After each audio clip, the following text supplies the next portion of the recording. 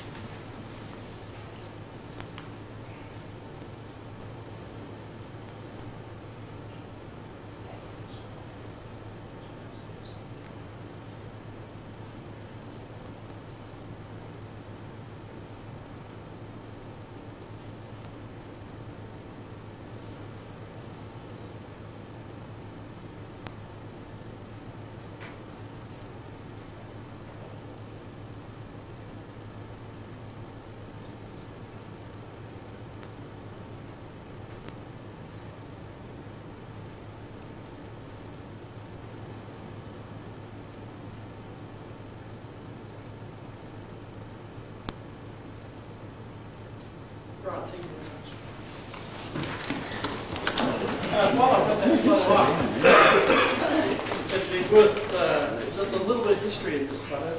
The, uh, the uh, society's motto was astronomy on the move. And this was one of the first astronomy on the move uh, actions is the D.J. Smith telescope, which we got uh, very early in the, in the formation of the society uh, as a permanent loan from the ASV. I say permanent loan because it wasn't long after that they said they wanted it back. Uh. Um, it's a 12 and a half inch um, Newtonian. Um, terrible optics, weighed about half a tonne, it really was hard to, to, to uh, use, but it was our first uh, large instrument. We were um, going to uh, build an observatory at Frankston High School, and thing was organised. We had uh, a dome uh, already built, or at least the dome part of it, it's a fiberglass. And uh, the, the brick uh, uh, base was, was about to be, uh, the construction of that was about to be started, and that was to be funded by Frankston High School. Uh, and we were supplying the, the telescope. And unfortunately, the, um, the headmaster of the high school got transferred or something like that. And the new headmaster said, no, no, we don't want to play around the telescope. Um, we'll have a, an art studio. And so we suddenly found uh, that we didn't have a, an observatory. And, and at the same time, I think actually about a week before, uh, uh, Dave's children were, uh, were uh, playing with, uh, say playing with matches, they were actually smoking in the observatory. And being a fiberglass observatory, it went up in a blaze of smoke. And so we lost our first observatory, uh, something that we've done very regularly over the years. Um, so, a bit of history uh, the couple of other things that have gone on. Normally during uh, January, we'd have uh, viewing nights on every Friday night at the Briars. We had a bit of a, a muck-up uh, this year and we discovered that uh, while, while we'd uh, kept up the Briars had advertised. And so nobody knew that uh, in fact the, the viewing nights were on. So we had the first one, which would have been our normal Friday, first Friday of the month. And we decided that we would um, cancel the rest. And uh, I've been to the last two and nobody turned up, so I've, that turns out to be a good decision.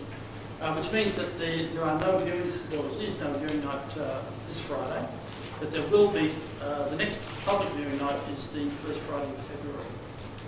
And we'll have to make sure that we have a chat with the Briars about their organisations. Suggestion box. Oh, he's just gone out to get it. Got it, I'll come back to that. Raffle we've mentioned. Friday, we've mentioned. Uh, From the, now, the, the next thing is that we've got two uh, motions that we'll put up at the Scorpio. Um, At the last general meeting in November, it was uh, announced that we intended to put to the members that uh, we would ask to see if the name would change. Thanks, Don. Do you to start? So we, sorry. Oh, Yeah, no, Thank you. you to say fine. Uh, the suggestion box is if anyone like, would like to ask a question, um, one of the things we find some people sometimes don't ask the the silly questions as they regard them. Um, the good thing about the suggestion box is you can throw in all sorts of questions. Please, anyway.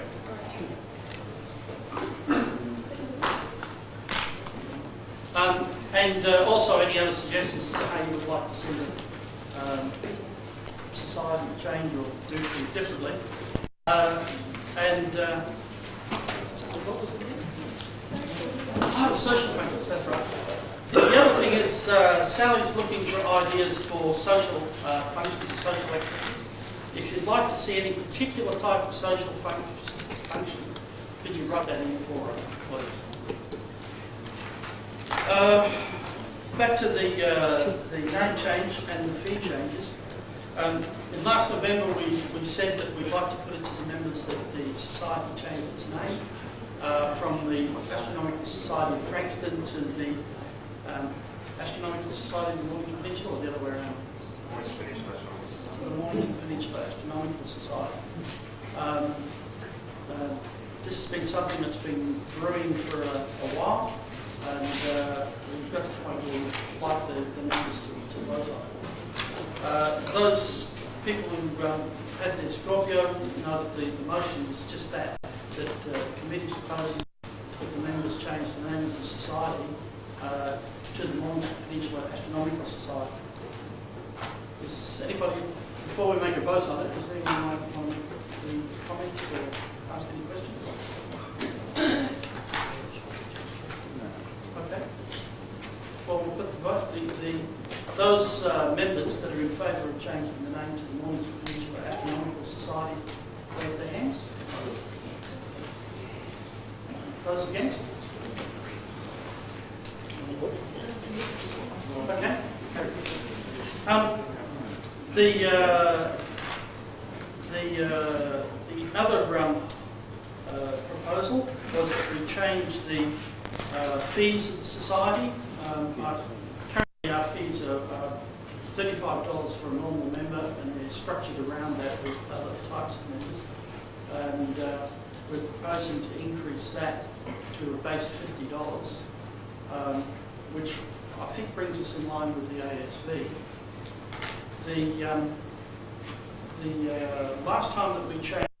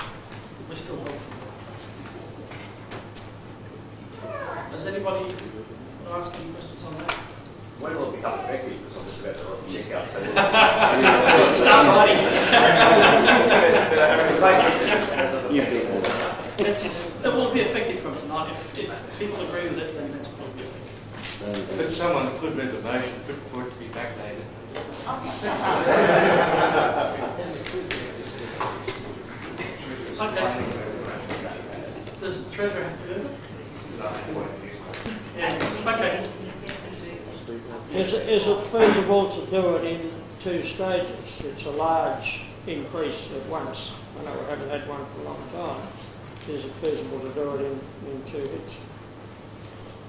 Yeah, I mean, we can do it any way, that- it's, it's entirely up to members. Well, we can do it any way you like. The, the, the proposal to go to 50 is, uh, there's no science behind it. What we've done is said, well, we'd like to be able to cover the costs of society, and it works out roughly at about that. Um, so the, the, the number was just thrown up that way. Uh, if the members want to do it some other way, I've got no objection to it at all. So basically, the fifty dollars um, will cover the running costs as they are, or will only just cover the running costs as they are, um, as they were actually for the last two years. So, because we've had different various fees coming, like um, two years ago, we weren't really, I don't think we were paying for the lecture theatre here to start with. Um, we weren't getting the, the lawn at the Briars um, professionally mowed with a, with a proper sit-on mower. So there's been, um, as well as um, insurance as well, public liability insurance has also increased. So over that period of two years, just, well, the recent two years, there's also been quite a number of large increases in fees that society has, has taken on. So um, we came to the conclusion that $50 will just cover everything that we're paying for um, at the moment. Subscriptions will pay for. So that's why we went to the fifty dollars. It does seem sort of a, a large amount, but we sort of, we thought it was necessary to go that base fifty dollars down to that. Um, Can I just make a point that just from two simple modes of thinking, we haven't had an increase for at least eight years. Taking inflation at a rock bottom 2.6%, that's about 16% due, which roughly goes, going back to the 35% single charge, equates to a rise, just on basic inflation, of $11, which makes it 46 which is $4 short of the 50 that's coming. Another argument is that Marty showed last November meeting that our income was approximately $600 more than expenses, so it's tightening. What I've heard tonight, everyone accepts that subscriptions meet, do meet the costs, but from my observations, we had a tight out year last year with somewhat declining school nights and the Briars thing running down a little bit. Um, people are tightening up. So, from my point of view, listening to the argument that one or and possibly two people are saying that can, can the fee be staggered in payment, the society could be caught out by that. Um, maybe it needs to be done on a personal basis, but I, I, I'm basically all for it on a society basis. It, it has to be. Just, You were going to change when the due date was from January to mid-year. no. We weren't. We, we talked about it, we didn't make a decision. It's better than the start. Yeah. I, I uh, mean, the, the other, the other, sorry, I was going to say, the other thing is that I, I did a survey of other societies uh, a couple of weeks ago, just looking at where we would compare um, in terms of our uh, society costs. And it's quite interesting to, to, to do that because if you look at the societies around Australia, and, and there's something like about 50 of them, um, they broadly fall into, into two types. The, the very small social grouping that has 10, 15 members um, has almost no costs. And they have subscriptions of about $15, $20. Then you have the other group, which are the larger societies that are trying to provide um, services to the members in terms of uh, observing facilities and, and social facilities and things like that. And they fall into, the, into a higher category. And um, uh, so you've got uh, ASV, New South Wales, South Australia, people like that. And they're all up in the 45, 50 range. So, and, and we're making that transition in that we're, we're um, starting to provide facilities like the RISE, which are a fixed cost that we have to cover. And so we, we we feel that we need to be able to match that. If 20 members um, on, say, a, a single basis of $50 stagger their payment twice, we lose as a society about $600 on that basis. And if things go tight in one year, we could get caught out on things like that. It's possible. So just my personal view is I think if individuals want to stay with payment, then it's really the treasurer that decides Yeah. how want to that. not, like the sort thing. It will be all over the place. Has anybody else got any? I'll stand up and face you. When we've heard all the technical arguments, and I like to reduce uh, things down to really basic terms, uh, we're talking about a $15 a year increase. And if you equate that to, say, those of you who are smokers, it's probably about one and a half packets of cigarettes over a year. Or if you go to Red Rooster, it's one and a half Red Rooster chooks over a whole year. So it's really not a huge big deal. And the extra $15 per head that the society is going to get, no one's going to run off with it. No one's going to do anything untoward with it. It's going to be put into the coffers and used to give uh, all the things we can give back to you lot. So I really don't think there's big hassle about it.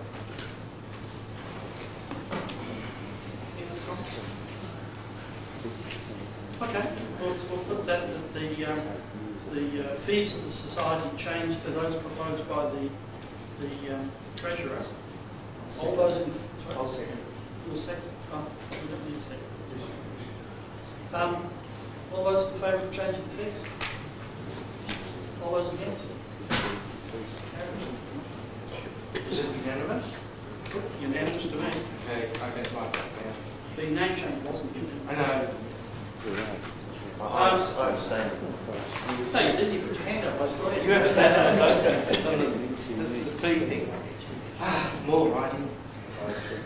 Uh, the other thing is that, uh, uh, end of January is the deadline for going, or rather applying to go to the National Australian Convention of, um, of Amateur Astronomers, the NACAA in, um, in Tasmania.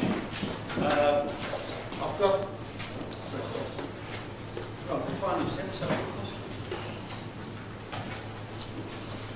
Um, I've got, uh, I've got uh, an application form here, but unfortunately I can't find it, so I've got fifteen over. I have it.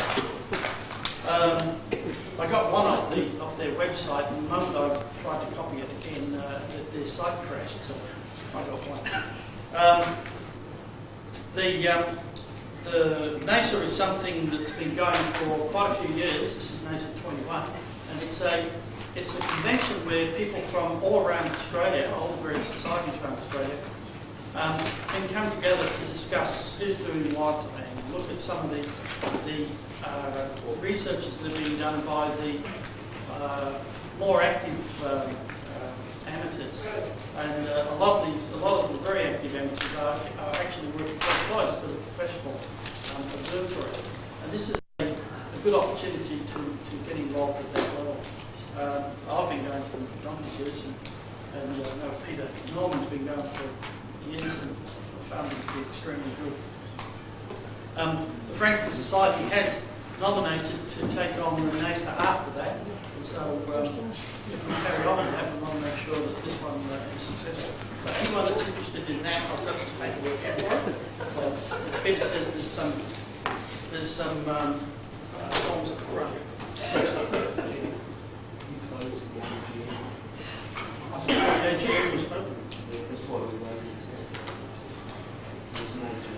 So what we're going to do, proposed the AGM close? No, just, just close. Put it adjourned. The AGM is officially closed.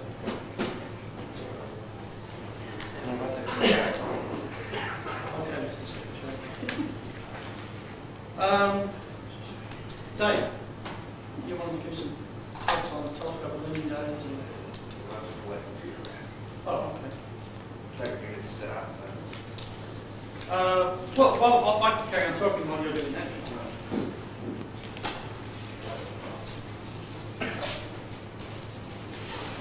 Excuse me, did you say the application forms were noticed?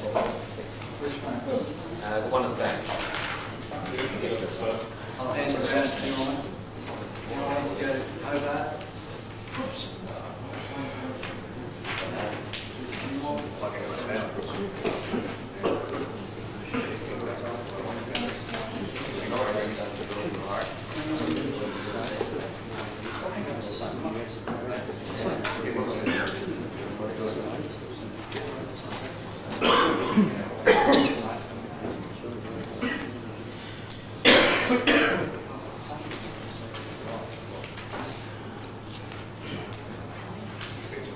Um, well, the one thing that we've been getting a lot of late uh, Mars, and uh, we've had some some uh, success and some failures on on uh, getting to Mars. What I wanted to give tonight, one of the talks that uh, we'll be giving, is a talk on why is it so hard to land on Mars.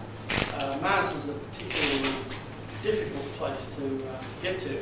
Not that the other planets are easy, but Mars is much more difficult.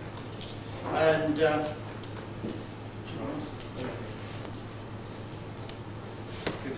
you just, you know, just see the uh, the that's uh, the one thing that we, we're seeing is um, some of the politics behind all this. And it's very interesting that at the moment the that the uh, Americans get a success, and unfortunately the uh, Europeans get a failure. The Americans have jumped on it and uh, have suddenly decided that they're going to go to the moon and Mars, and the Chinese are going to do the same thing. Uh, I don't know that they've got a particularly good political reason to go to the moon, but uh, it'd be interesting to see whether they can come up with the money for it. Um, I rather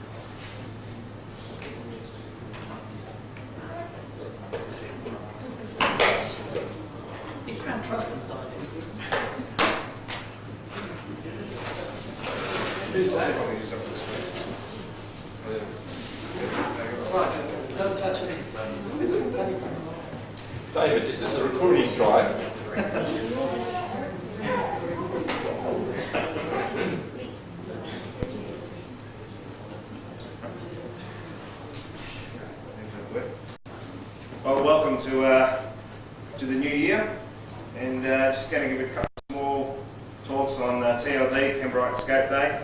But before I do, life has been found on Mars.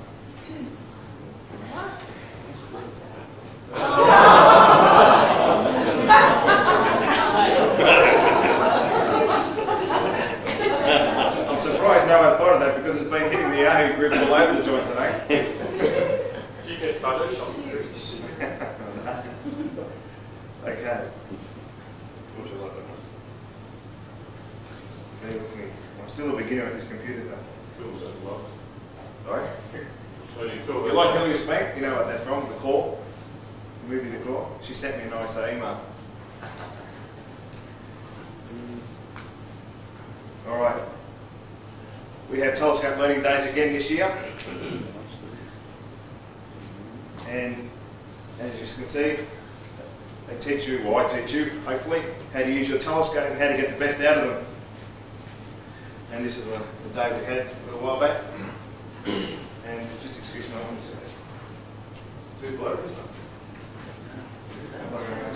it? Is the picture all right? Yeah. It's all right. Um,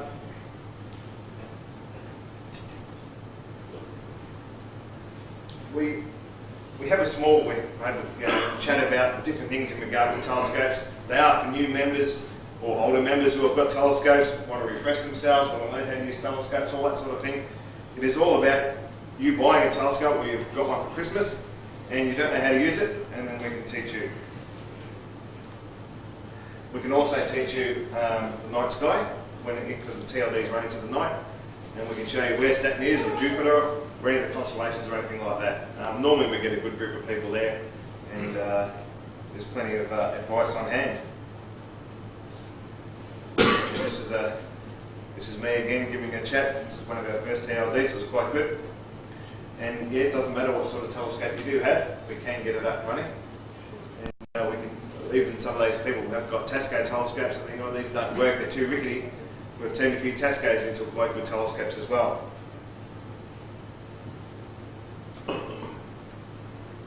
And after the, we have a small chat, we all set our telescopes, we all put all these telescopes on our pad up there, and we're just waiting for data. So you can see they've been uh, quite popular over the years. And uh, he hasn't got his, uh, don't know, he's probably got his best side to you there. And uh, when you come to a TLD and you're having problems with collimation, I know that Greg's a real, uh, a real um, stickler for trying to get these scopes in uh, collimation. So if he's there this Sunday and your telescope's playing up, he might be able to help you. I'm presuming you'll be there, Greg. Well, we might try and see if we can get Saturn looking a little bit like that. And that was the CCD picture taken to a 10 inch. Um, it's amazing what's on the web and what people take with their, you know, the, with their CCD cameras. Some of the pictures that they take are incredible. I still like to look at the eyepiece, I think I think that's a, a better view. And the dates for this year are January the 25th, obviously this Sunday coming up, April the 24th, May the 22nd, which is a, a Messier night, and we'll work on that one as it gets closer. I don't think we've had a Messier night yet. Every one of them so far in the last two years have been rained out. So, and TLDs, what happens, we normally get a, an influx of people really keen to get going. So I've only organised a few at the start of the year, and then probably through winter time we won't have any. And towards the end of uh, this year, we might have some more if there's some interest again. So topics for this uh, January, um, starting at around about 3 o'clock, um, somewhere between 3 and 4 we'll start our first talks and we'll be talking about how to observe Saturn and Jupiter because Saturn's uh, up and about at the moment with Jupiter rising later in the evening. Um, how to get the best out of your telescope for seeing these planets. Um, anyone with a new telescope come along and we'll help set it up. And then we're going to have a, we'll have a break after that, we'll have dinner and all that sort of thing. Um, sometimes we have a pizza run, sometimes we have a fish and chip run, and sometimes we have a barbecue, whatever's on offer, whatever anyone wants to do.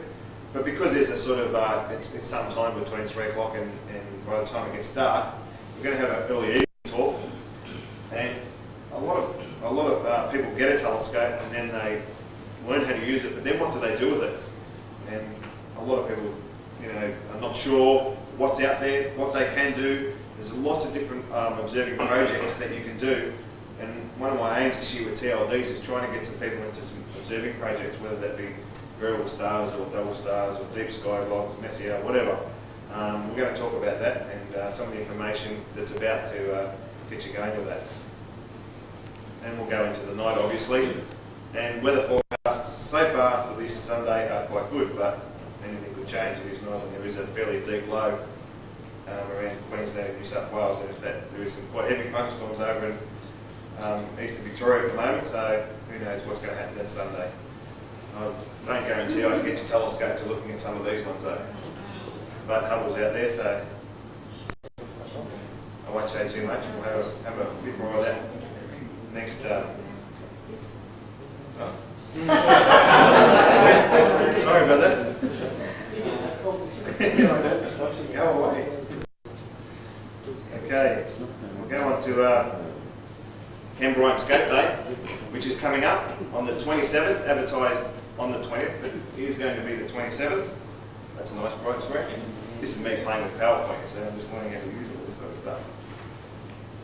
Um, Canberra Day, or KBSD, which is nice and easy to say, is a day we have a chance for everyone, and it's sort of not, not so much like a teaching day as the TLDs. This day is for people to show off their telescopes.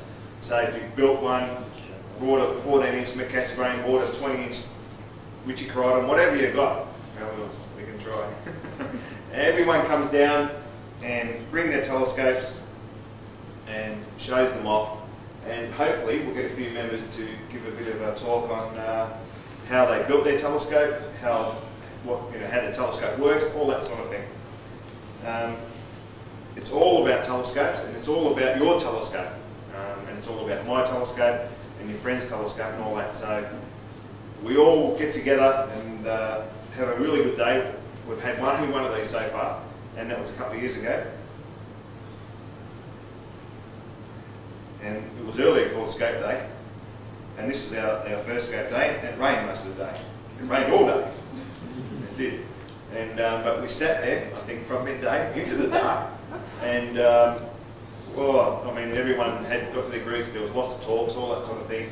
And I think we did eventually set a telescope up, Marty, I think, we, Yeah. didn't we? We did. And um, yeah, we were, actually, I think we were looking at Mars. Mars was quite, quite small back then. This is around March sometimes, so March can sometimes obviously rain. And, you know, scope days are, um, you know, a lot of fun.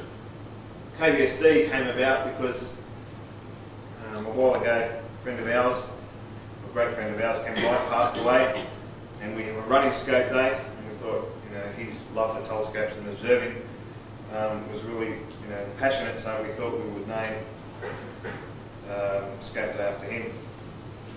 He loved building his telescopes, and he made a couple. He made the, an 18 inch, and he made an 8 inch, and uh, many other things. He was a fairly passionate observer. And for those who don't know Ken, that's him now on your, your right. And uh, he's showing off his pair of binoculars and that binocular stand that he made. And that stand actually got into uh, Sky and Space magazine. I think it may have been called Southern Astronomy many years ago. And uh, Ken's family and kindly donated that tripod and those binoculars, so they're up the rise for anyone to use. And if you've never looked through those pair of binoculars before, come along and have a look because they're uh, they're amazing. Here we are. KBSD is on 27th this year, starting at noon, going through the night. It's a BYR lunch, think I got the approval from the committee. Pretty sure we did. Uh, we will supply dinner, and I need people to book with me before the 27th and uh, tell me what you would like, and we will try and organise something. We're not going to get Scotch fillet steaks for the whole night, but um, you know we'll try and cater something for you, and there'll be tea coffee on hand. And that is not a scope day, that is actually a picture of a Christmas barbecue. As you can tell by the KBSD is all about people and their telescopes. This is me with a couple. Nice little case, Salvage telescope. And then we all are again, um, ready to observe on one of our days. So come along to KBSD, a, it will be a great day. We'll have a raffle. We'll have a very special prize for raffle. I'm not saying it's going to be a telescope, but we will have a very special prize if I can organise it. And um, hopefully we'll get some, um, a couple of little talks for you and uh, really have a good day. And we will have a prize for someone who comes along and puts on the best display. All right, so that will be well worth it as well. I'm not sure what I'm donating yet. Okay. A few more minutes. Yeah. Okay, go for it. Okay. Um, I recently bought this laptop last year, and I'm not that great with computers, but I'm getting to know it. And I have an LX200, which I bought just recently. And some a few people have asked me about controlling telescopes with my planetarium program, which I've got. This is CARTS which is free on the web. I couldn't afford some of the programs when I rang up a few shops and said, how much are these? And they said, 200 $400. I thought, okay, we're not buying that. So I've downloaded this, and it's a quite a good program. And give me a few minutes, I'll give you a little idea how it's going.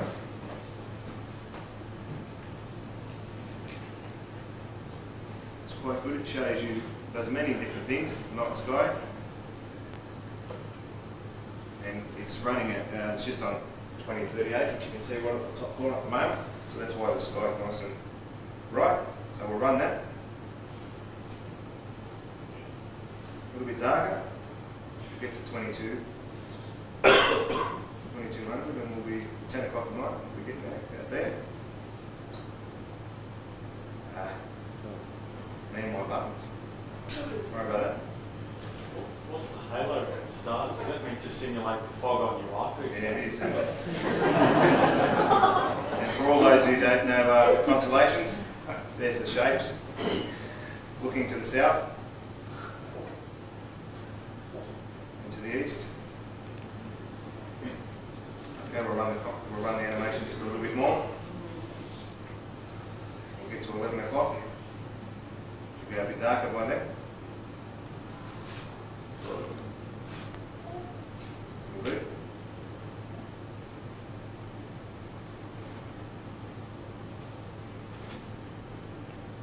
I don't like constellation shapes. I like to try and find the constellations without knowing what's going on.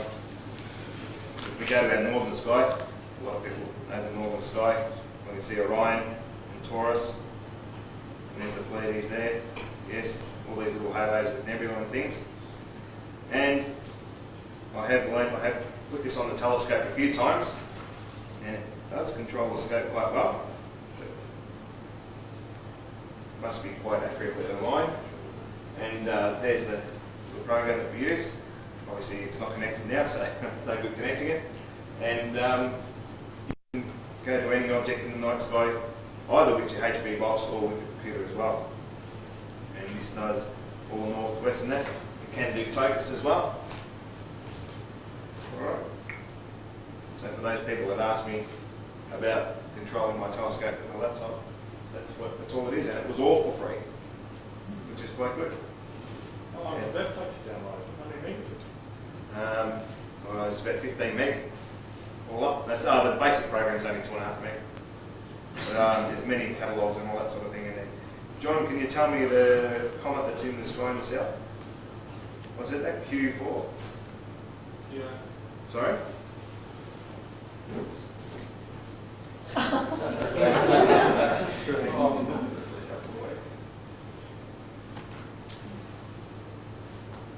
It's 2002 Q4, is that right? Something like that. 2001 Q4, I think. It's 2001 Q. Lewis? Okay. And we can go and um, find that.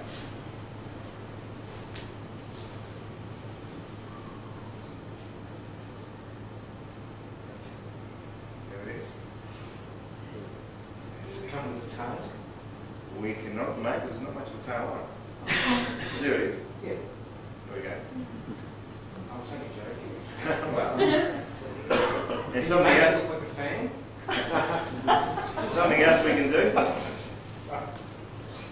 which is uh, quite good, is that if we were looking at if we were looking at Saturn tonight, and uh, it's what time did I say it was? It's about eleven o'clock. Yeah, twenty-two forty-eight. Okay, I can find out what moons are what. So we can click on there, and tell you the moons. a bit of information about them. All right? And again, all for free. And if you look carefully, the moons on uh, Saturn go around very slowly. If you look carefully, you will see them. See it moving? You get an observation, you say you want to find where that particular moon is and show you which dot it is. That I'm not sure. Will will the software show you what aperture to pick those moons up? Um, well, if you go onto the moon, let's say this one, well, as you can see, it's 12.6 meg. So you can work out from there if you can see them or not. What's the name of the program again, Dave? Cartes du Ciel.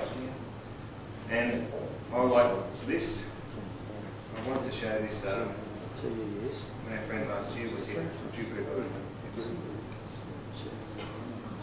Okay, there's Jupiter, and we'll just run the animation again.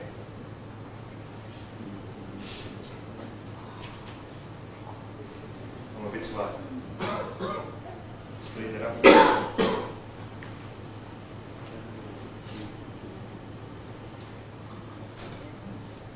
And what, what, interesting here is that the program can tell you when the great red spot comes around.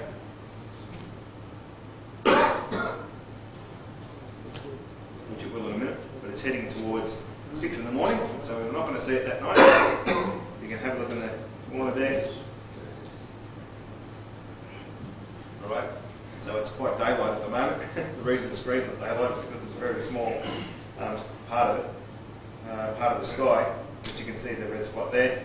And again, it does the same thing with the moons, which are Europa, etc., etc. So,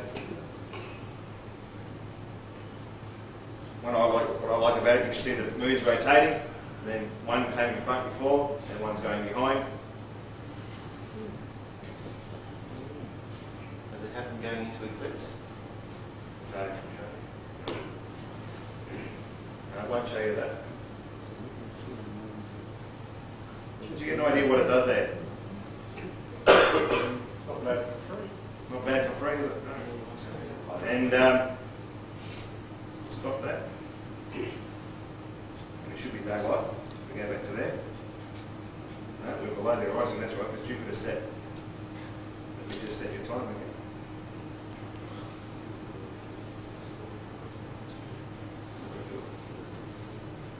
We run this a bit. I'll just run this program to now, roughly.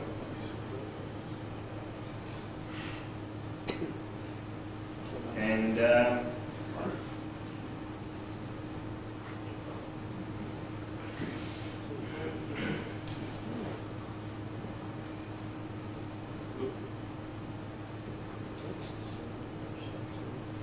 what do we want?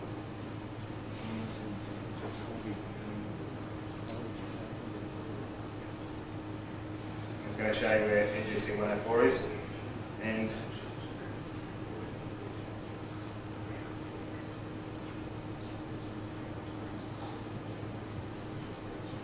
and you can just click on the object. You've got to be careful you don't click on the star. It's quite easy to do that. And um, 47 Tuc. And you can click on stars. You can see. Peter, am I running out of time? A few more minutes. And um, full of catalogues as well.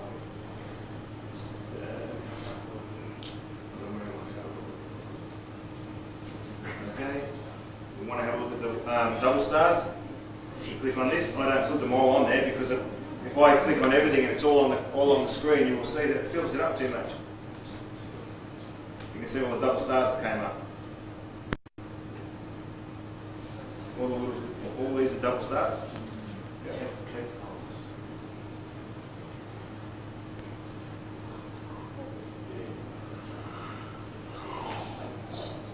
Right way.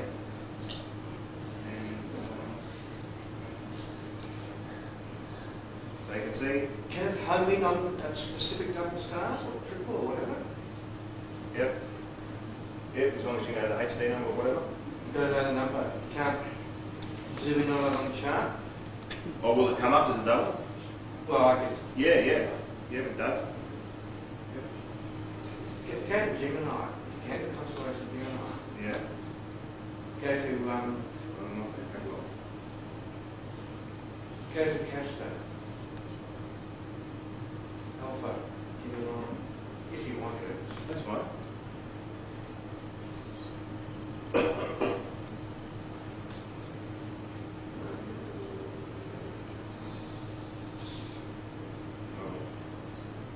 Do this another way. Has to be the standard. Yeah, Gemini.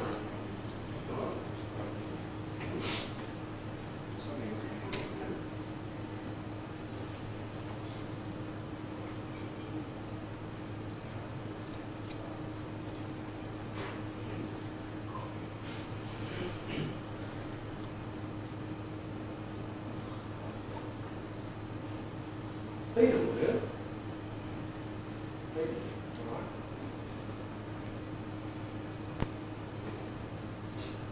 That's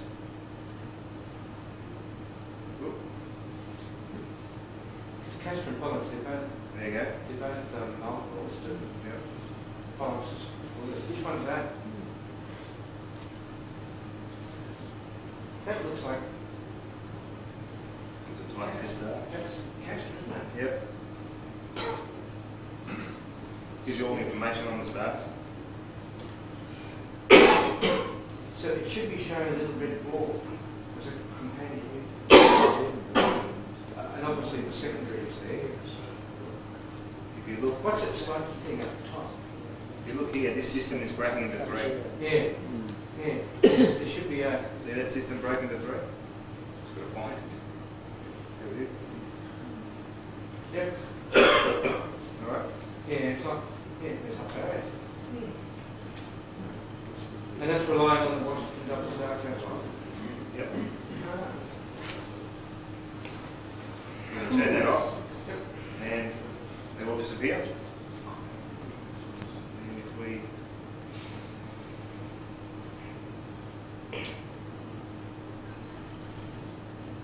we can just zoom in, zoom in, zoom in. Do that again. And One one one of thing, them showed a little bit of red momentarily. is alpha. Um, That's, that's Pollux.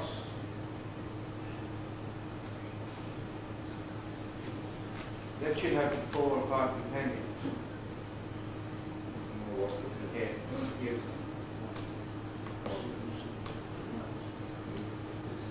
No, already got two of them.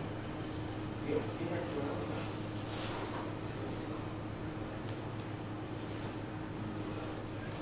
All right, I won't believe much more. Well, one last thing I wanted to show you, I thought was, um, there they go. You're also winning a part everywhere. Well, Yeah, that's, what, what, that's, that's, um, Pollux. that's alpha, it's alpha polyps. I think it was. Okay, anyway, what I wanted to show was, uh, list. Okay. And we'll just change that a bit, in a couple of days' time, um, Friday, and Saturday.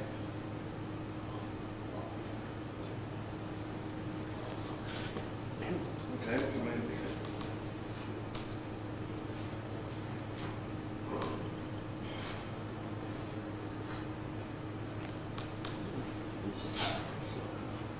Here's another day.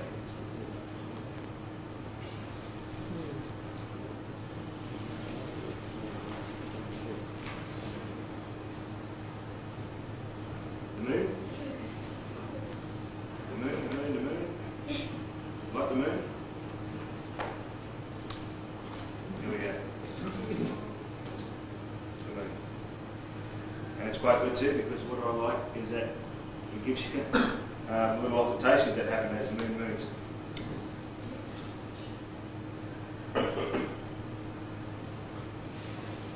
That'll run quickly. Well, that'll come too fast. So, CI company wasn't doing much except for playing with this one. Not really. Um, There's a lunar graze on the 29th with uh, this month is that? with a magnitude 6 there. Okay. You know what time? Uh, can't, can't remember, it'll be early evening around 8 pm, 9 pm time. But uh, visible peak shank line. Just fine. I'll move. I think it's in Aries.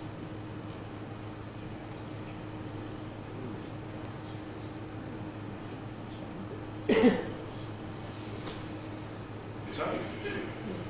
Yeah? There it is. You know the names and stuff? HD number, whatever? It'll come up. I think it's 21 Aries or 51 Aries or something. Flames number 29. Here it is. 6 meg, 6.8. Yeah, big. So we will just. Here we go here.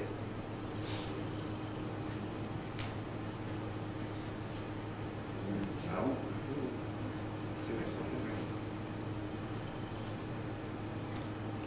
All right, miss.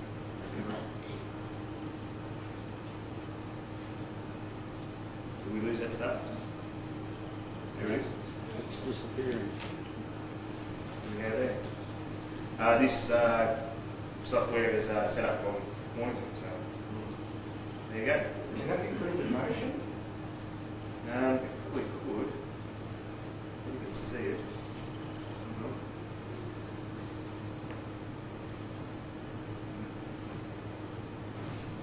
Right, Dave, take your glasses off so you can.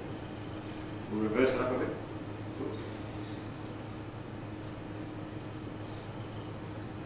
We just need to go a bit bigger. Can't see the star? Can't see the star. Okay. We can do it.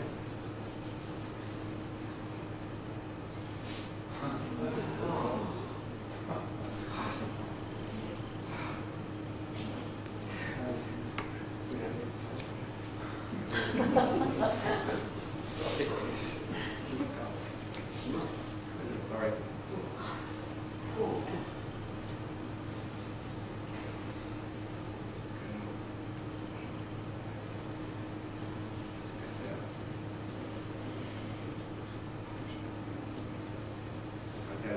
With this. Running a bit more. There we go. And it's going to disappear. All right, there you go. That's um, there's a software that a few people asked what I use, free on the internet. There you go, not too bad for nothing, is it? All right, so remember TLD this Sunday, KBSD uh, 27th of March. Give me, um, please let me know if you're coming to that and if you want dinner. And I hope to see you all there Sunday, and we can have a look at Jupiter and Saturn for real. Thank you.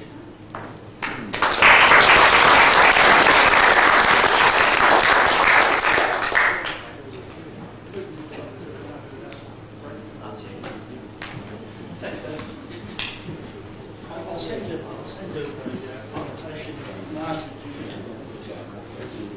John, John uh, Cleveland and I were uh, looking up a, an occultation of Mars and Jupiter in uh, 1070, was it? Or, it was in the 11th century. And uh, uh, there was a, there was a, um, uh, an observation of the, of the star, of the star, two planets coming together. Of course, this is way before telescopes were around, so all the people saw were two planets merge and then separate. And um, the, uh, the obvious question was, was there an occultation or not? And um, uh, I ran my uh, ran simulation through some software I'd got, which is nowhere near as sophisticated as this, and it showed that yes, the, the, the, that Mars in fact occultated Jupiter. Uh, and I asked John to do the same thing on the uh, Sky software, and it showed the same thing. But it was the first thing he spotted was that Jupiter went in front of Mars, and we thought this is a new observation. uh, so we, obviously showed that Mars was much further out in the solar system than previously thought. I'll, I'll, I'll send that data to see if there's something. What, what I like with that program is you you can do any dates. Yeah, And I like this, Saturn at the moment is in the northern sky, which is really bad. We like it in the south. So I like this change all the years on the software. Unfortunately, we've got to wait till uh, past 2010, 2012 for Saturn to be overhead again. But when Saturn is overhead, the views are much better than they are when it's low the north. So I- at least I can see it on the computer for now. the, the amazing thing with, with that is how we accept the, the computing part that's there. I'm, I'm, I'm just reading a book, of course, on, on how um, the orbits of planets were um, determined uh, prior to uh, Gauss developing the um, three observational method. Um, and uh, it's done with effectively trigonometry. And uh, so people in the sort of 15, 80s, 1600s, if they wanted to try and work out uh, uh, movements of planets, had to literally draw and calculate a triangle after triangle after triangle. How they did it. They obviously had a A lot of time. I, I, I- I think they just had thousands of slaves out the back all drawing triangles. Very interesting. Um, the uh, Unis night, I didn't mention that. Was anyone want to mention anything like that? I guess it got brought up. You, yeah? No, I'm interested in the new, new, um, new person's night. No, no, no. I assume it got, it got clouded out. Right. We'll take a break for, um, for, uh, tea or coffee. Oh, sorry, is that the raffle, is it? You want to do that now? Yep. Okay. Throw, throw two tickets in. Does anybody else want to buy a?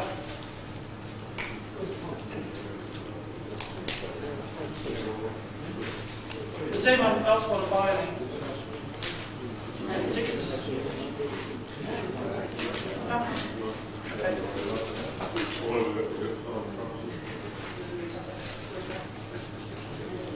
one. Uh, Black B twenty-four.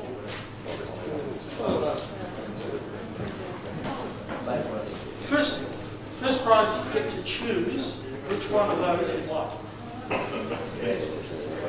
Plus the calendars, plus the.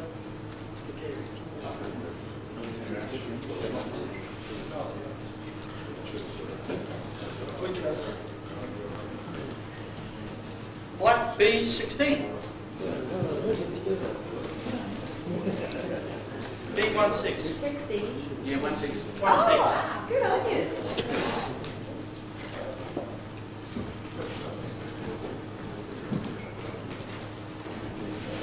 You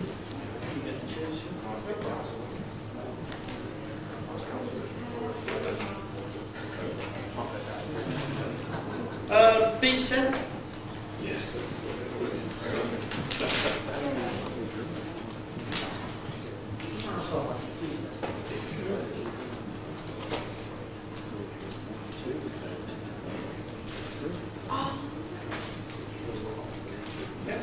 B2.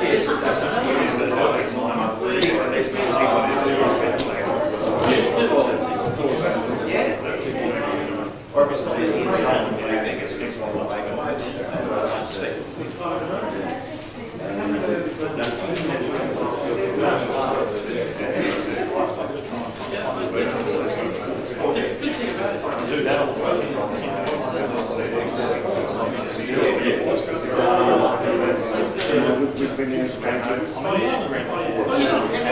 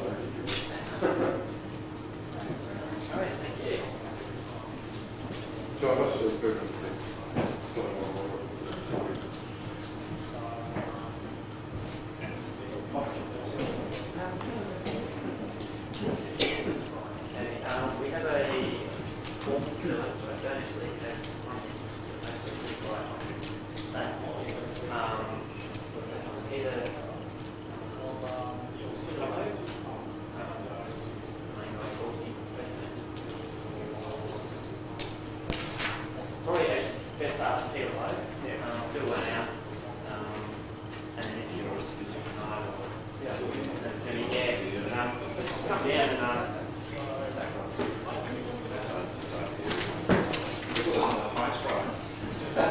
Yeah.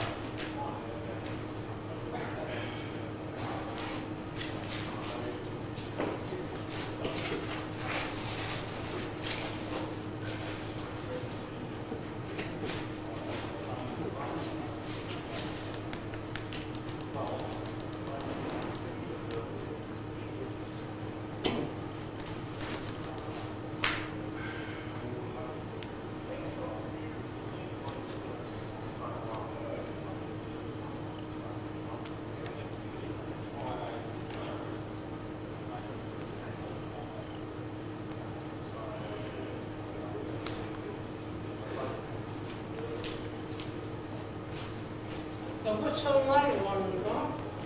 Huh? Oh, what's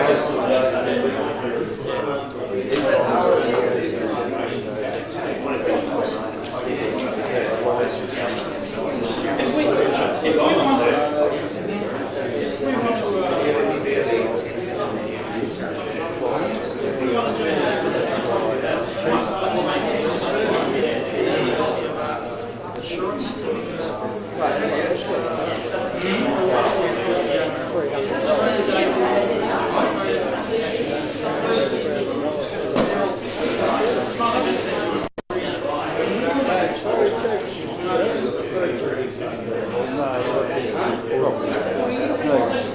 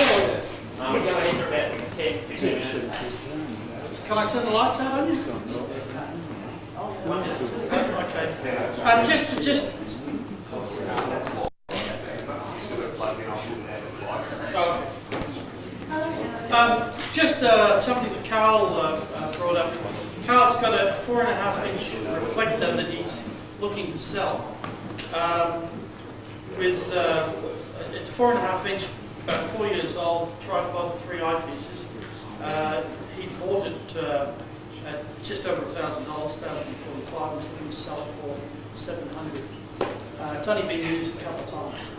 So anyone that's interested in four and a half inch reflector, Carl's the man.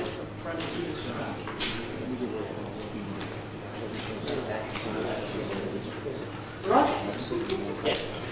On.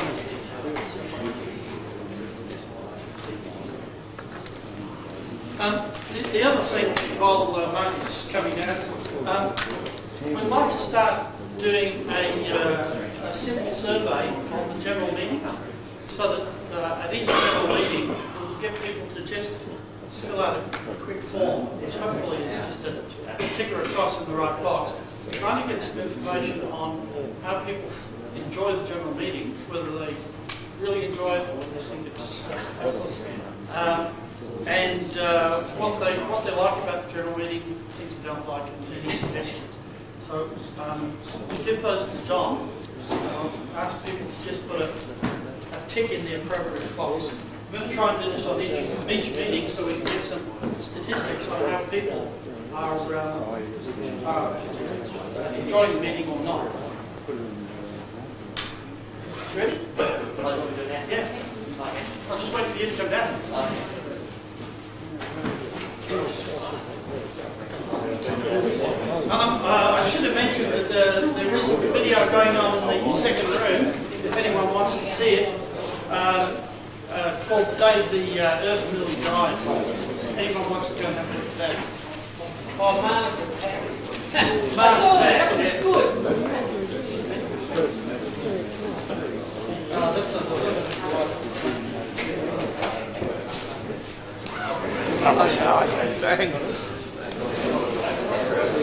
a- So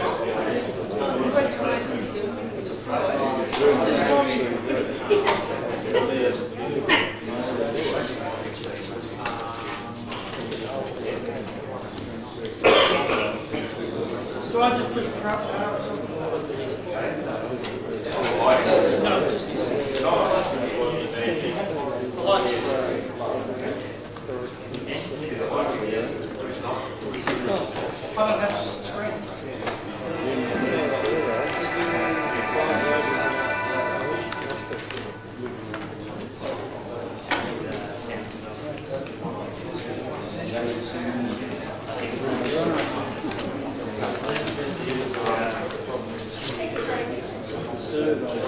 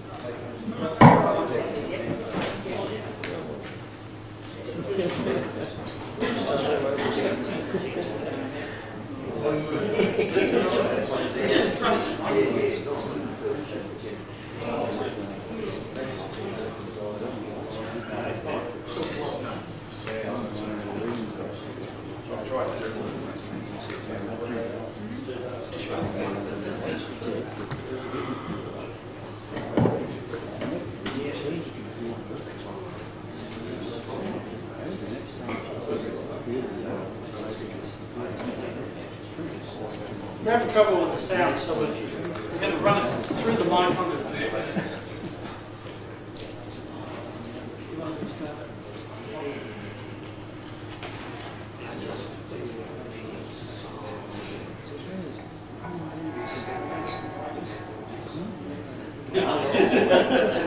As probably everyone's aware of, um, uh, Mars rover or Explorer um, landed on Mars on January the 4th, I think it was. Um, what I've got here is uh, a couple of NASA um, animations of um, how the rover landed, um, how it deployed itself, um, what it's doing now, what it has done. Um, they go for about 14 minutes altogether. Um, the first two small animations show different parts of the rover um, entering Mars' atmosphere, how um, it landed onto Mars, and the second one shows it deploying itself um, onto Mars and then starting to move around. Um, the third animation shows basically the whole um, journey from leaving NASA to landing on Mars. Um, the first two small um, animations actually have people from NASA talking about what's going on, some of the stats and figures that are happening um, with how fast the rover um, or the satellite's going through the atmosphere of Mars as it enters and so on and so forth. Um, the third one doesn't, it just has a couple of sounds um, behind it, but there's no actual explanation, so I'll do my best to um, explain what's happening in each sort of stage of the animation. So, um, because we don't have any sound, I've got the, the speaker here pointing onto the speaker so we can see, see here we go. So we'll fire it up.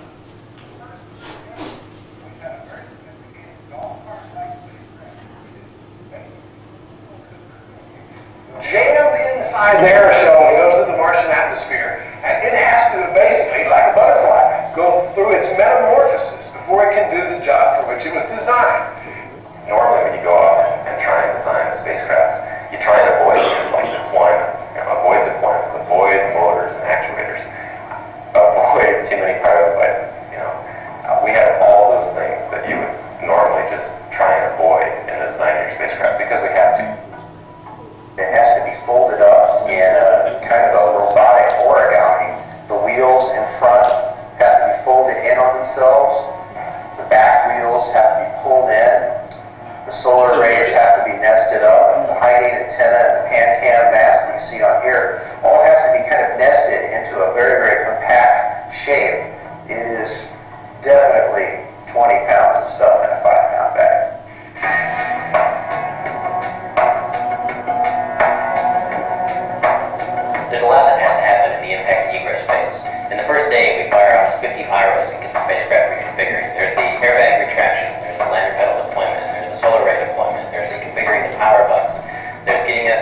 configuration where the rover is ready to receive commands from Earth.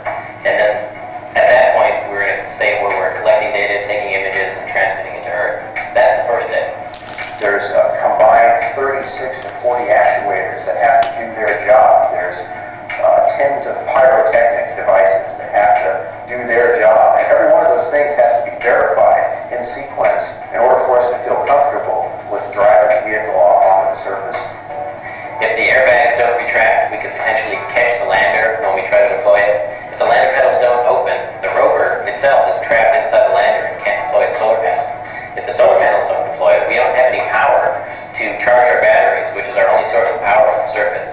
So if any one of these doesn't happen, it's a bad day on Mars.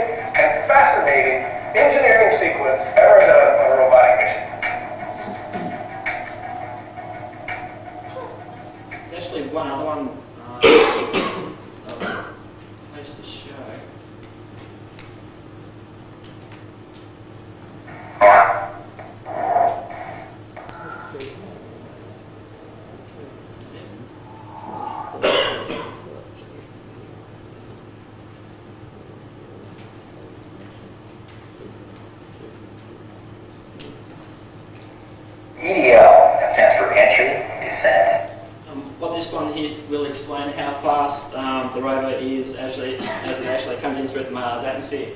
Um, it's, it's, quite fast and it's amazing the thing actually survives, but um, this will give you some of the stats. But its main job is to take a vehicle that is streaking across interplanetary space.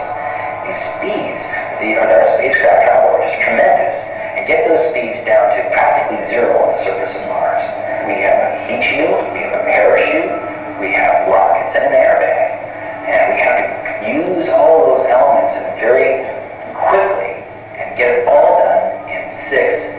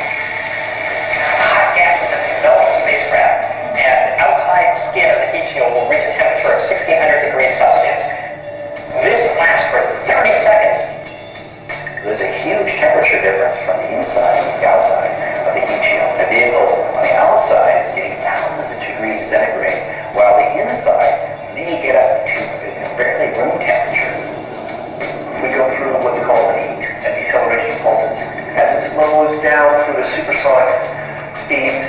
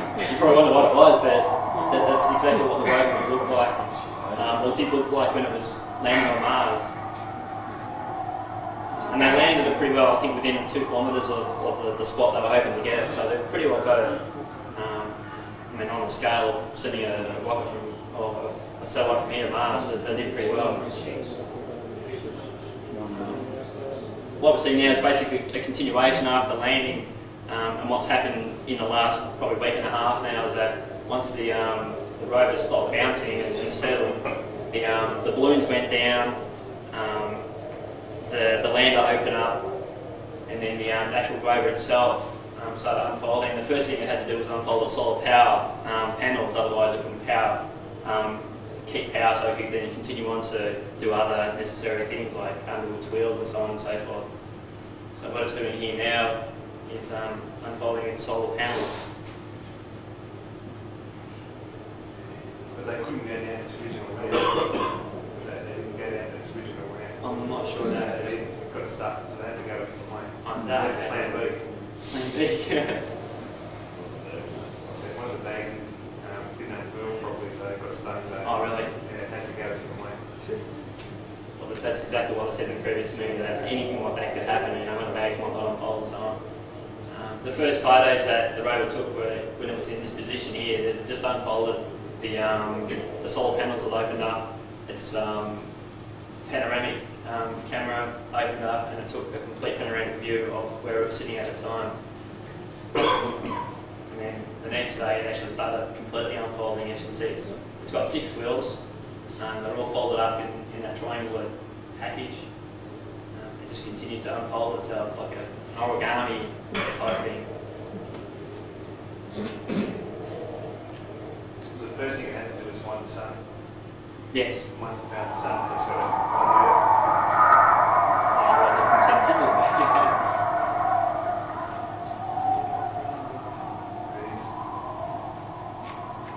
I did have a, um, a sheet with all the different parts that were going on here, but of course I left it at home in front of the computer, so.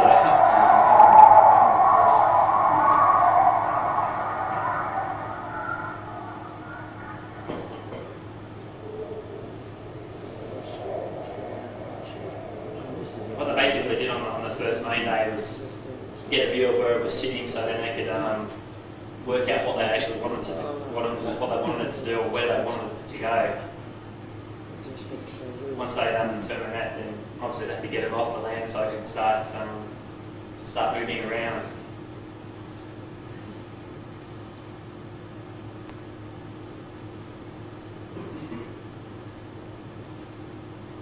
They didn't they say that apart from getting on the planet, the scariest bit was actually rolling off the off the thing that tipped over. That was it. That was it, yeah. You just can't jump in the shuttle and go and fix it. Mm-hmm.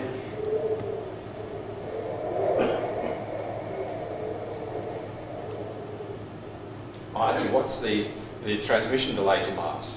What was it? Ten minutes. Ten minutes, is it? Three minutes. Three minutes. Yeah, they said it was three minutes. I was surprised it was that quick. Because it's so close. I'm not sure exactly how far it has moved from the lander at the moment. Um, I know it's um, got really close to a couple of rocks, or a large rock, which was called, Abri- that was after an American Indian name for a large mountain. Um, it's taken some samples of that rock um, yesterday. It's taken um, some really good photos of some soil today. Uh, but what apparently it was, to this rock yesterday so has a little drill on into this um, device here, which um, can polish off the surface of the rock. Cut a hole into it.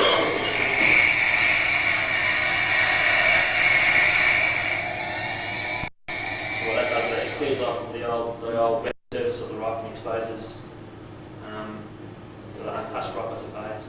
And then, then it takes in um, cameras and chromatographs and takes all types of samples of the rock. Um, these aren't obviously the exact photos or photos that have been taken, but they have, um, it has sent back um, close-up photos like these of different rock samples um, and soil samples as well. So NASA's pretty excited that everything that they've done so far is sort of going, or pretty well going to plan. There's been no real major hiccups at the moment. So there we have our rover heading off into the sunset. Yeah, so that's currently on Mars right now doing its job. So What's the website? Um, this is actually um, through um, JPL, the Jet Propulsion Lab website. Richard Pollard put two really good websites on Wilkins the other, the other so. Okay, I'll probably run them. There's about three or four that actually lead to the site that has all these animations on it. Um, Yeah, we so that's it.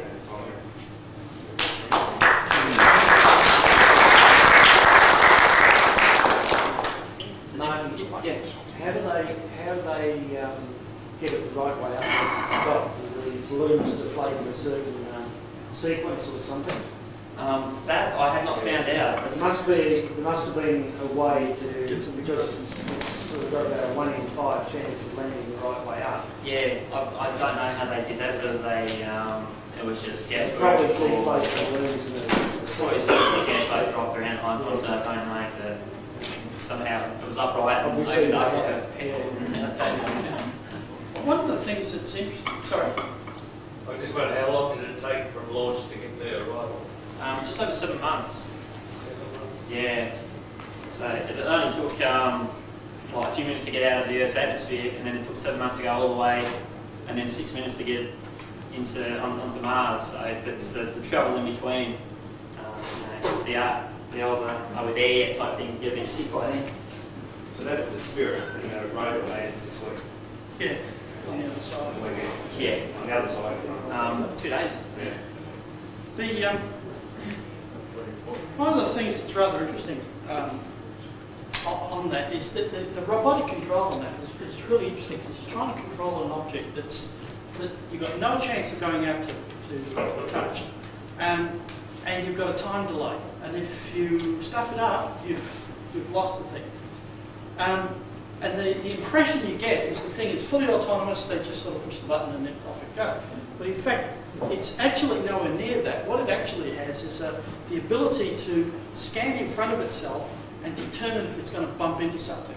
And its instructions are, if you're going to bump into something, stop.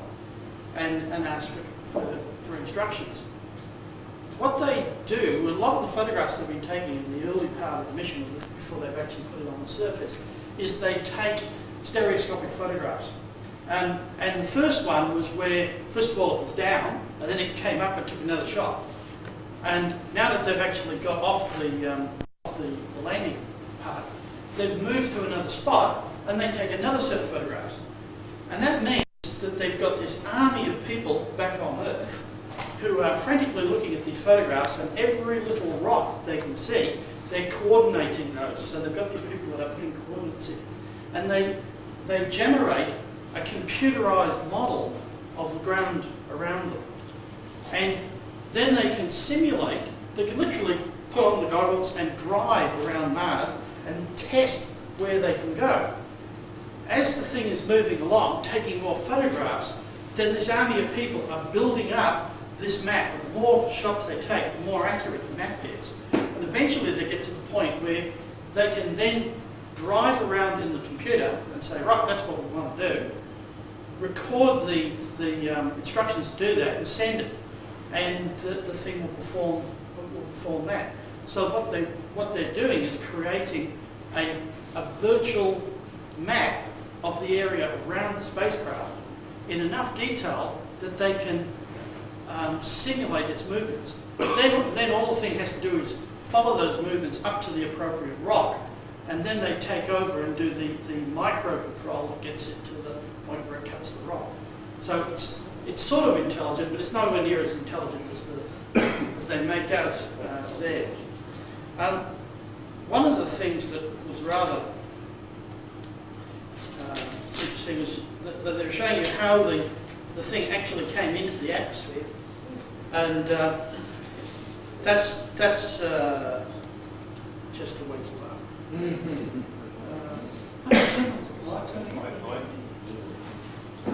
Presentation. No. This is so. This is so that uh, you either go to sleep or. Um, You are feeling sleepy. which bit? Which bit not moving? That's probably. It should be a rapid cost for that. But I just want to have a chat about why it's so hard to land on Mars. Now, Mars has been particularly hard to, to get a spacecraft down onto, and and one of the things the media quotes is, you know, how many missions have gone and how many haven't made it. And I thought it'd be interesting to look at why this particular planet is so hard. Well, as they said in that little presentation that Marty did, the objective is to get the relative speed of the spacecraft down to survivable level. It's, it needs to get down to a few metres per second. Um, but it's coming in at, at kilometres per hour, uh, uh, uh, kilometres per second. Um, and we need to be able to wash off that energy. And the methods that they use uh, depend on, one, which particular planet you're trying to land on, and that, that really, um, the, the important parameters there are the mass of the planet and the atmosphere that you're trying to get through. Um, obviously, the mass of the spacecraft is an important factor, and how fast the spacecraft is going. If we look at the mass of the planet, obviously the mass determines the force of gravity that's being, that's being um, uh, exerted. And the gravity really determines the approach speed. There's not a lot you can do in celestial mechanics to manipulate the orbit or anything to reduce the speed of the spacecraft. It's fundamentally going to come in at, uh, at the escape velocity. Um, the gravity also determines how much atmosphere and how deep the atmosphere is. So if you're on a if you're on a, um, uh, a, a large planet, you get a nice deep atmosphere, and because of the gravity, the atmosphere is denser at the bottom than it is at the top. If you go to a less um, massive planet, then the atmosphere is much shallower, and, uh, and you don't get as big a braking area, if you like. And of course, that's the problem with Mars. Um, and the, the gravity also determines the type of atmosphere that you're going to deal with. So that if you look at Mercury the Moon, well, there's no atmosphere. So trying to come in with an ablation shield is a bit pointless there. Um, the Earth, we've got a nitrogen oxygen atmosphere because we've got life there. Mars is fundamentally carbon dioxide. Jupiter, um, we've got a variety of organic uh, compounds. Now, that's important because when you come to bring the spacecraft in, the, that ablation period where it's of the, the, the re-entry period, um, the, the, efficiency of that is determined by the composition of the atmosphere. If you look at the um, spacecraft, the spacecraft, the energy that that spacecraft has got is determined by its mass and it's determined by the speed. Uh, notice it's speed by the speed, so if we double the mass, we get twice as much energy, but if we double the speed, we get four times as much energy.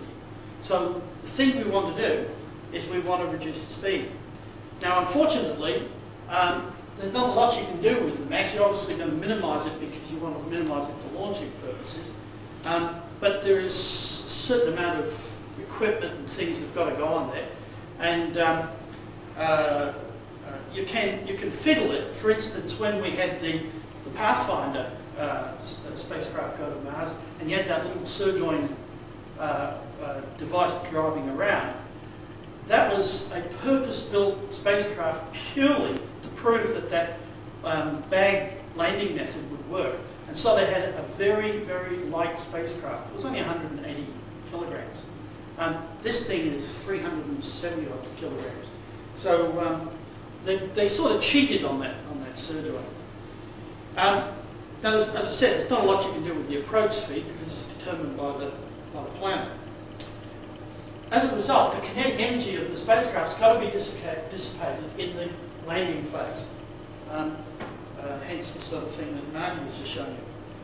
Now, what sort of methods have we got of slowing up spacecraft? Well, we can just put a rocket on and slow it down directly.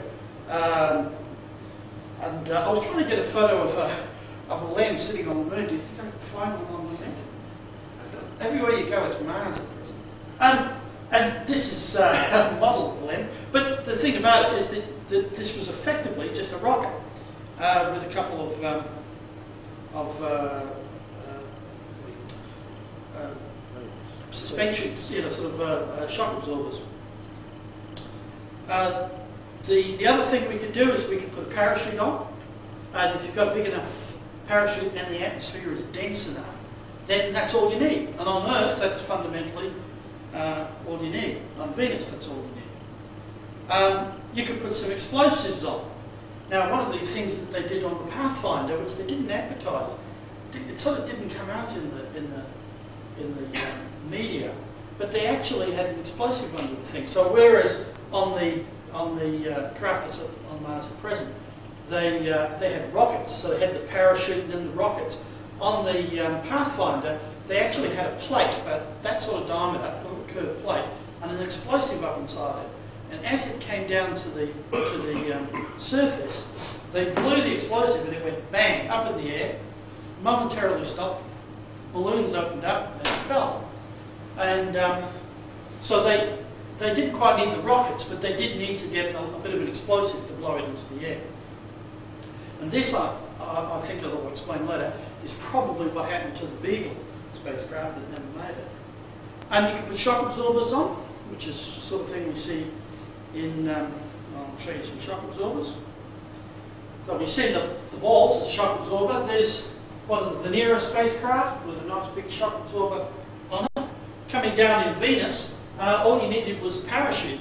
They didn't actually need the shock absorbers, but they, they thought they better put something on to stabilise it. And so they just put a, a, a uh, effectively a, a, rubber tyre on the bottom of it. Um, but uh, in that case, they didn't actually need uh, retro rockets or anything. The thing just came down on the parachute.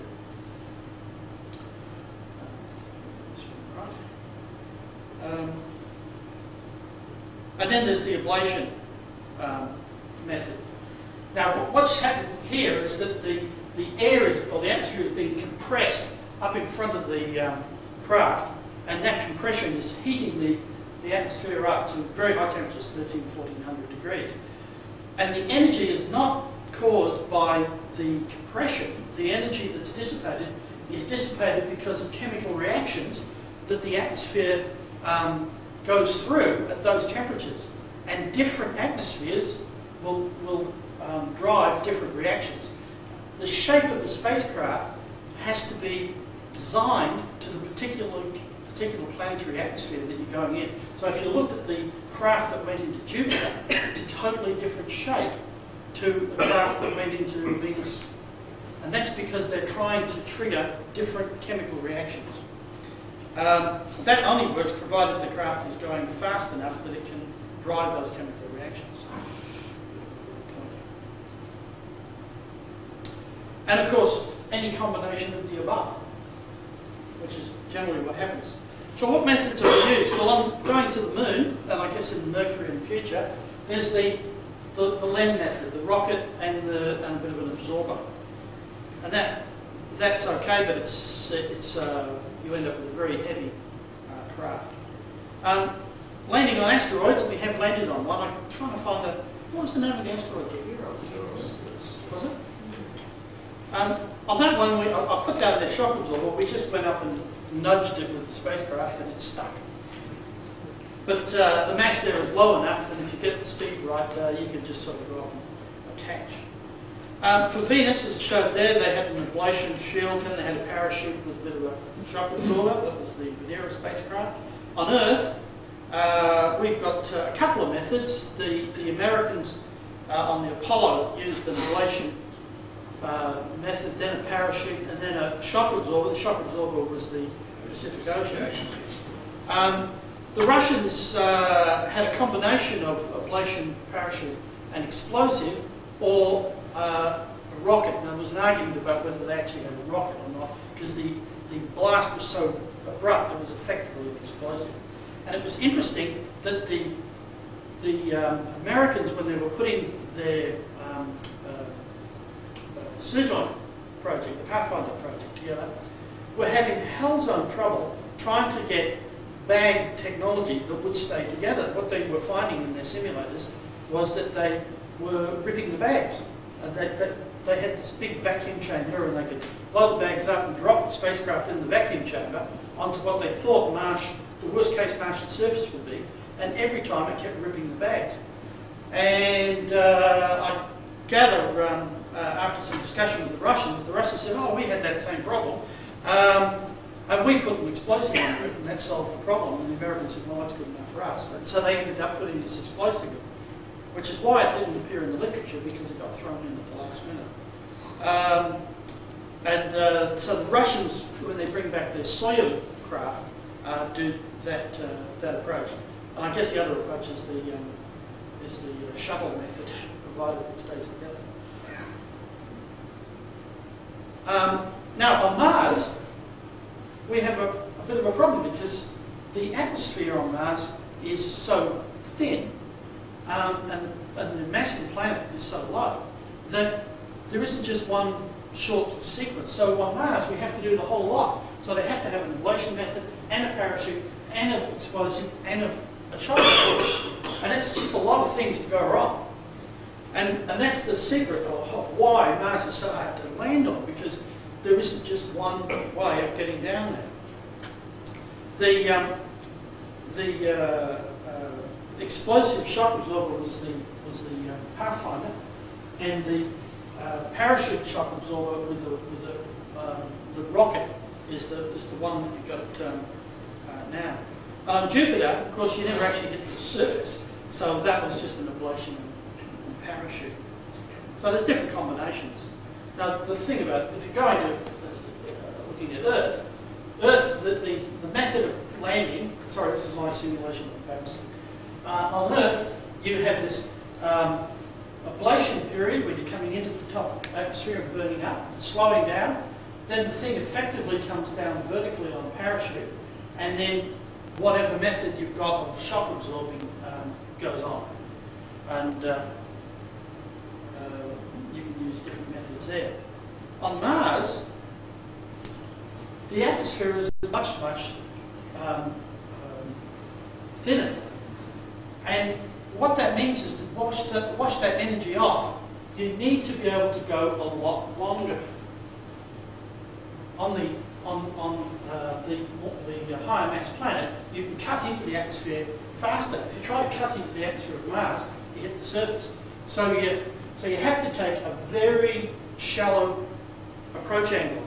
And that puts a lot of pressure on the um, navigation accuracy. Um, the other thing that, uh, that you get is a much faster dropping speed. At Venus, they were dropping through the atmosphere at about 2 to 3 metres per second. On Mars, they're dropping at about 300 metres per second. So they're, they're going much, much faster. And as a result, they need to absorb downside more energy at the, at the end. So their technology has to be that much better. Now, I think what happened with the Beagle, in my opinion, the Beagle didn't have this um, rocket or, or explosive phase. They decided that what they could do is that they could come down on much stronger bags. Now, as you go for stronger bags, your weight goes up. So they decided they could tolerate a heavier um, spacecraft with much, much stronger bags and take a long time slowing the craft down and use the heavier bags to give them some survival at the bottom. Um, the Americans decided to go for the rockets, so there was a much safer approach. And I suspect that what happened was that the Beagle was dropping at 300 metres per second, and the bags just went up to it. And so we now have a Beagle of 10,000 bits. But time will tell. So you've got you've got different methods. The Viking spacecraft used, used a uh, um, the original landing on Mars. They used an ablation, then a parachute, then an actual rocket, and then they had um, they had uh, legs that, that absorbed the last bit of energy. The Pathfinder uh, did the same thing, except it had an explosive and then the absorption of the bags. The Mars Express used the rocket instead of the explosive, and the Beagle went straight from the parachute to, to the bags, and I think not having something in here was its downfall. Maybe. The Americans told them about it, and the Europeans said, don't you worry about that. Any questions? Wasn't the Beagle um, just a secondary thing for them though? Oh yeah. The main part of that mission was their satellite space. Yes, that's right. So they didn't really, if it works, it works, if it didn't, That's what they say, yes. I'm sure if it was the other way around, if the thing had landed, they would be saying, we got there first, you know. We did. Very good. Good. Okay. Um,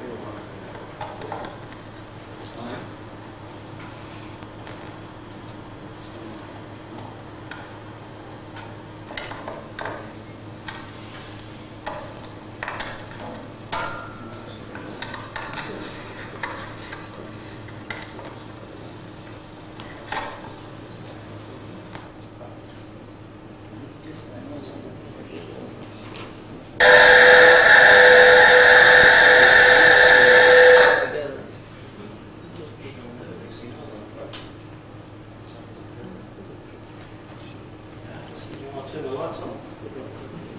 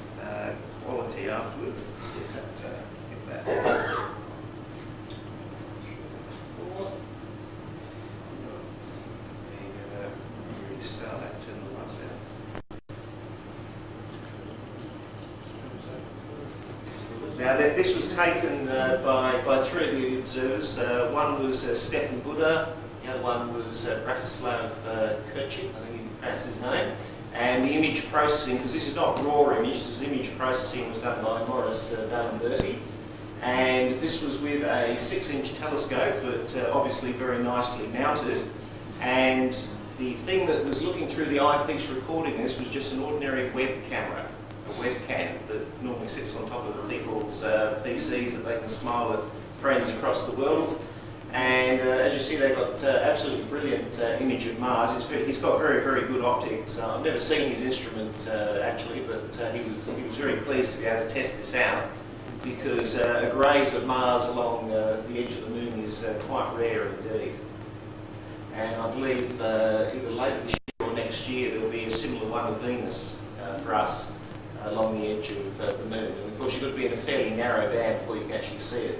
So you see on this one it, uh, it's now slowly moving away and you can probably make out uh, Syrtis Major, the, uh, the dark area. I can't actually get it over, over the image, but uh, the, the dark band that uh, is, is going across the centre of, uh, of Mars itself. Unfortunately there's no sound in that whatsoever. And one final thing I wanted to show you was some of the aurora reports that um, occurred in 2003 uh, just to let you know what can be seen uh, in this part of uh, the world. Uh.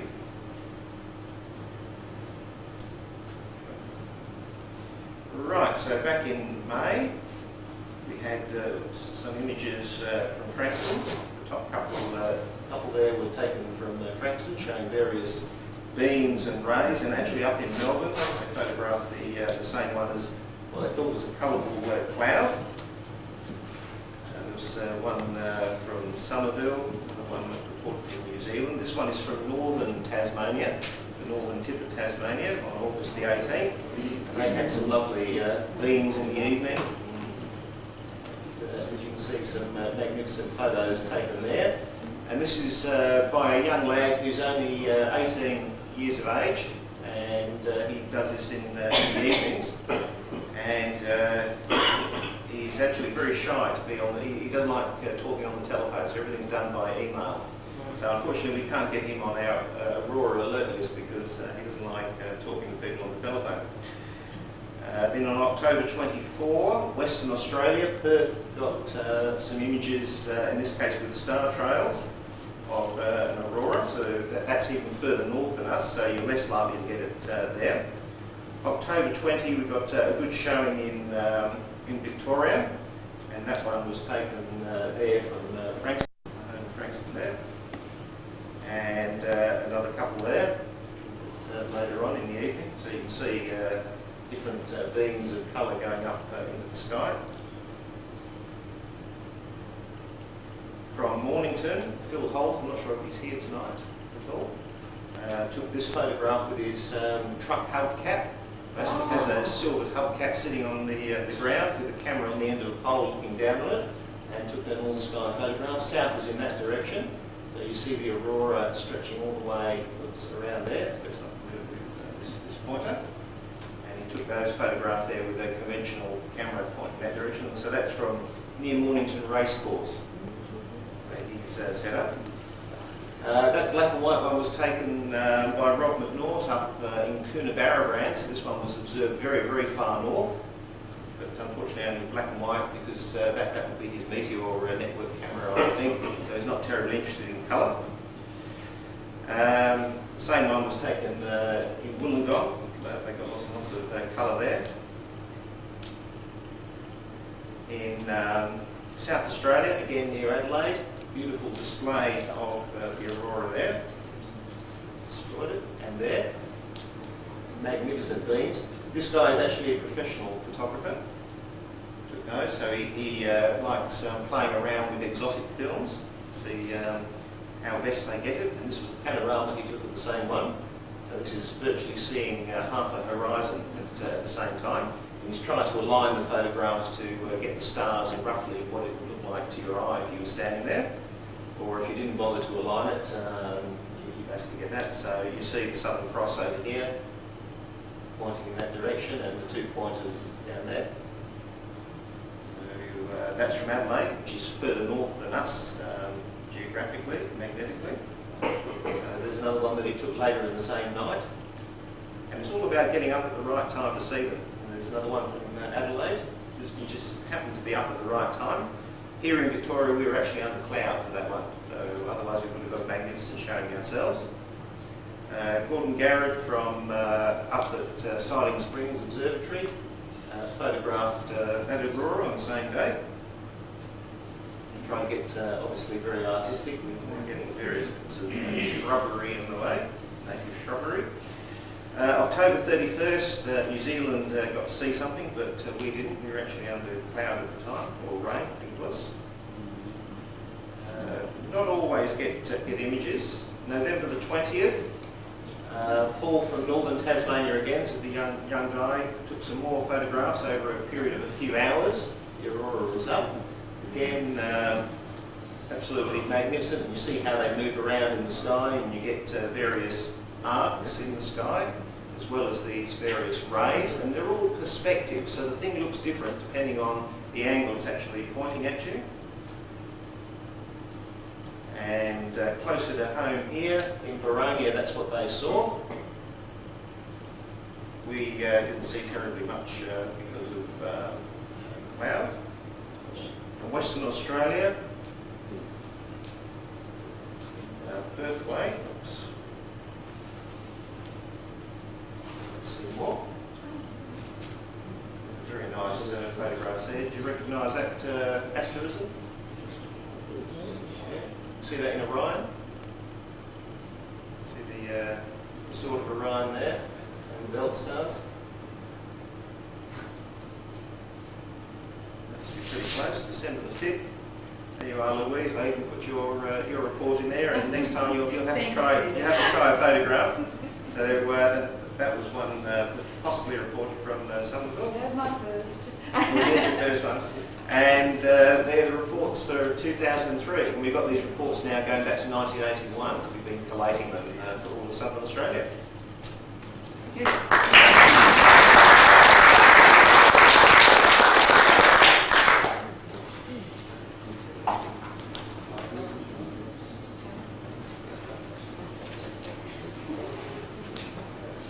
Right, thanks a lot, Pete. Um, later, later in the year, I'm hoping to put a presentation together on the physics of the upper atmosphere, which was an area that I did research in back in the um, in the early 70s. Um, and uh, I was part of a team that was doing um, auroral observations down in the Antarctic uh, along the southern coast of, of Australia. And uh, it was rather interesting. It did pay a lot, and uh, so I ultimately left it and decided to go into industry. But later, later this year, I'm hoping to together together a talk on the, um, the Earth's upper atmosphere. That's all we've got tonight. There's a couple of things on there. Make sure everybody's got their what's on. Um, there's also, we're trying to get a, a survey of, um, of how people perceive the meeting so that we can get some feedback on, on how well our meetings are going. Uh, those people that, um, that have got the calendar of events, there's a revised calendar of events uh, up at the front here somewhere. The, the uh, calendar that, uh, the calendar that, that went out with the uh, Scorpius is, um, is not quite right. Um,